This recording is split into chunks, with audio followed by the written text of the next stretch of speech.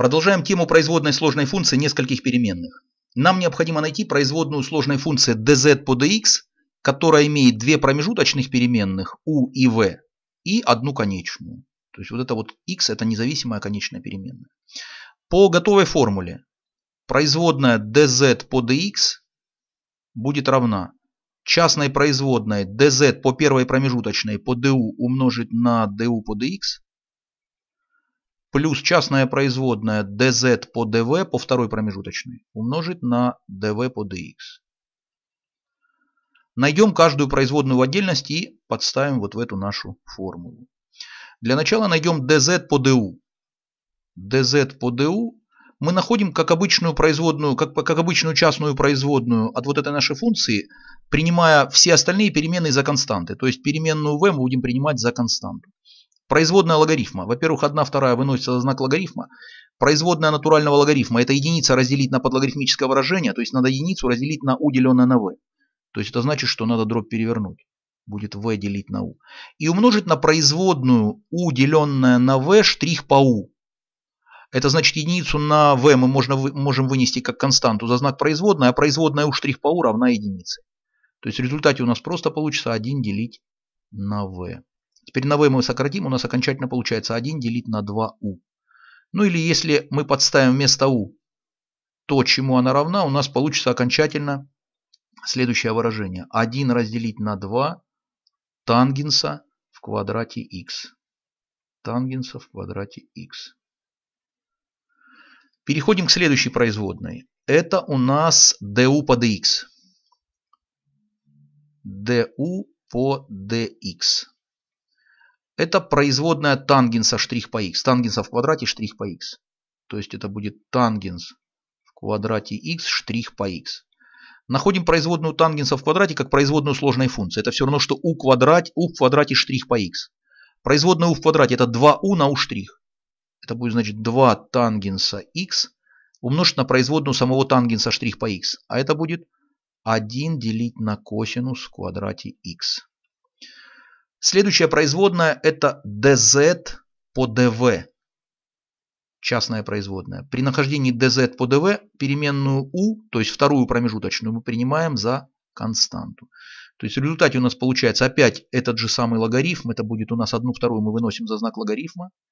Умножаем на единица, деленное на подлогарифмическое выражение. То есть надо дробь перевернуть v на u. И умножим на производную u на v штрих по v. А что это такое? U как константу по отношению к v мы вынесем за скобки, а производная единица на v равна минус единица, деленная на v квадрат. То есть получается u мы выносим, а у нас еще в знаменателе получится минус v в квадрате.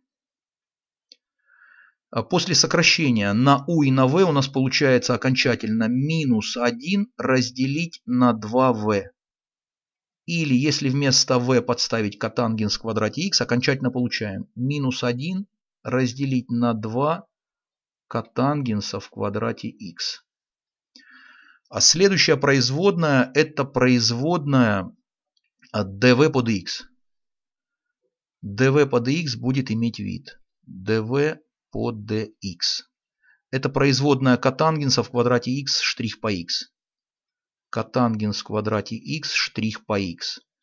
Это будет 2 котангенса x умножить на производную самого котангенса. Это будет минус 1 делить на синус в квадрате. Минус 1 разделить на синус в квадрате x.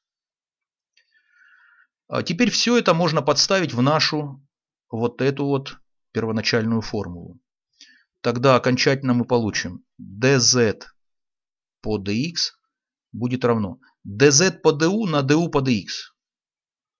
dz по du подставляем. Это 1 разделить на 2 тангенса в квадрате x. Умножить на du по dx. Вот что это такое. Это будет у нас 2 тангенса x разделить на косинус в квадрате x. Далее плюс dz по dv на dv по dx. То есть надо dz по dv умножить на dv по dx. Каждая из данных дробей отрицательно. Значит отрицательно умножить на отрицательно будет положительно. В результате у нас получается 1 разделить на 2 котангенса в квадрате x и умножить на вот эту нашу дробь. То есть, а это у нас будет 2 котангенса x разделить на синус в квадрате x. Сокращаем. Сокращаем, ну, на 2 понятно, на тангенс. И еще вот тут останется тангенс x на косинус в квадрате. Тангенс это синус на косинус, значит мы еще и на косинус сможем сократить. То есть окончательно у нас получится а, единица разделить на синус, деленное на косинус. А, в знаменателе синус на косинус умножается. И вторая дробь точно такая же. То есть приводим подобные слагаемые, у нас получается 2 разделить на синус x и умножить на косинус x. До формулы синуса двойного угла не хватает числа 2. Значит, надо на 2 умножить и числитель, и знаменатель. Умножаем на 2 числитель и знаменатель. Тогда в числителе у нас получается 4, а в знаменателе получается 2 синус на косинус. А это синус двойного угла. Это и есть окончательный ответ. Кому решение задачи понятно, не забудьте поставить лайк и напишите несколько слов в комментариях к этому видео.